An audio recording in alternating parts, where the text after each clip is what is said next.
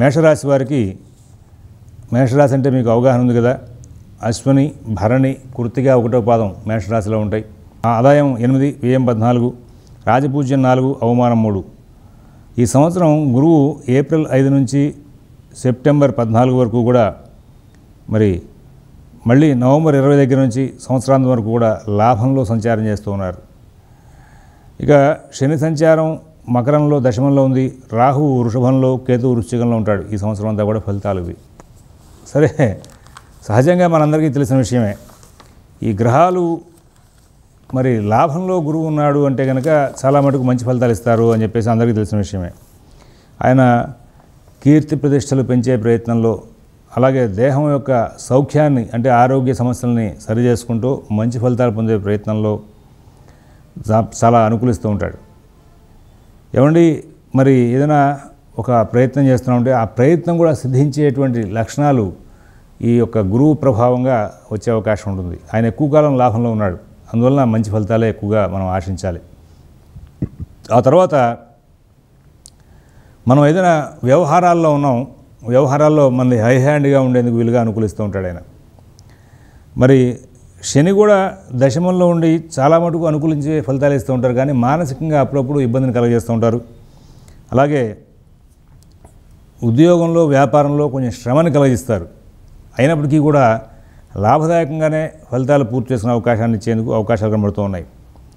సరే ఇంకా రాహు గారి పరిస్థితి చూస్తే ఆయన ఎక్కడ ఇబ్బంది పెట్టే అంశాలు కనబడట్లా. అంతా శుభప్రదంగానే మంగళప్రదంగానే ఐశ్వర్యప్రదంగానే మరి ఈ సంవత్సరం అంతా కూడా నడిచే అవకాశం కనబడుతోంది.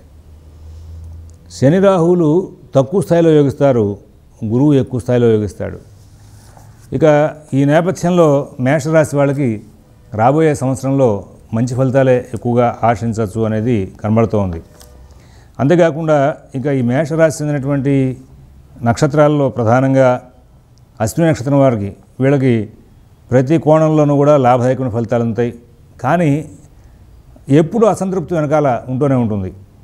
కుటుంబ విషయాల్లో బంధువులతో కలహాలు తప్పనిసరిగా వస్తూ ఉంటాయి. కొంచెం వాగ్ధోరణ నియంత్రించుకోవాలి. ప్రత్యేకంగా గృహాలు కొనుగోలు వాహన కొనుగోలు విషయాల్లో సక్సెస్ అవుతుంటారు అశ్విని నక్షత్రం వాళ్ళు. భరణి నక్షత్రం వాళ్ళకి ఈ సంవత్సరం అంతా కూడా శుభ పరిణామాలు ఎక్కువగా నడుస్తూ ఉన్నాయి. వివాహాది శుభకార్యాలయందు తరచుగా పాల్గొంటూ ఉంటారు. అధికమైనటువంటి ధన వ్యయం జరుగుతూ ఉంటుంది. అదే రీతిగా ఆదాయం అధిక స్థాయిలో ఉంటుంది. భార్య తరఫు బంధువుల ద్వారా కలహ ప్రాప్తి జరిగే అవకాశం ఉంటుంది.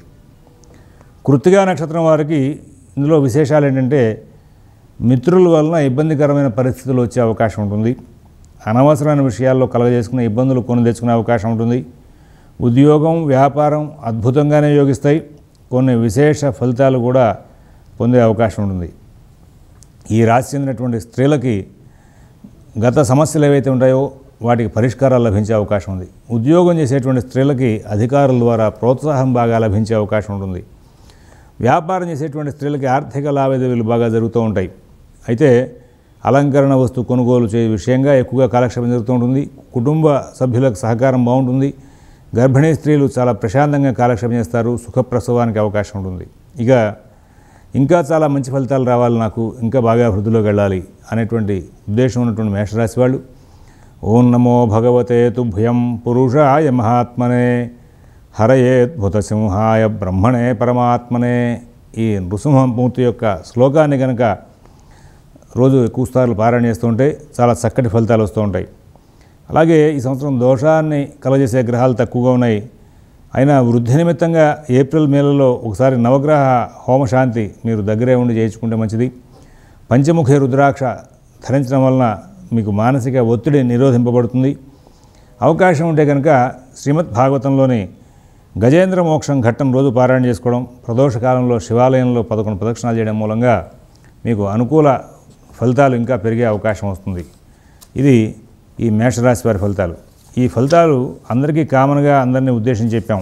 మీరు మీ యొక్క వ్యక్తిగతమైనటువంటి మీ జాతకాన్ని తీసుకువెళ్ళి మీ సిద్ధాంతి గారికి చూపించుకుని ఈ గోచారం ఆ జ్యోతిషం రెండు కూడా అన్వయం చేసుకుని తద్వారా రాబోయే సంవత్సరం యొక్క ఫలితాలని మీరు తెలుసుకుని ముందుకు వెళ్తే సుఖంగా ఉంటుంది.